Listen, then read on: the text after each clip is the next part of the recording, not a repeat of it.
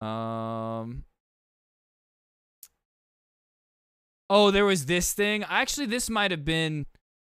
No, I think this is when my internet was out. But somebody posted this. Adin Ross never been nominated for streaming award, despite him revolutionizing streaming. Is just sad. And I said, if by revolutionized you mean normalized a bunch of Nazis and slurs on his platform, then yeah, you're right. You're right about that. But he's never done anything revolutionary. He uh, oh he had rappers on his stream. He's not the first guy to do that. Okay.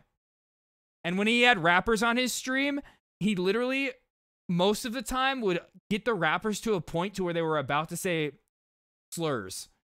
They were moments, some of them almost did and actually did say slurs on his stream. Okay. The F slur.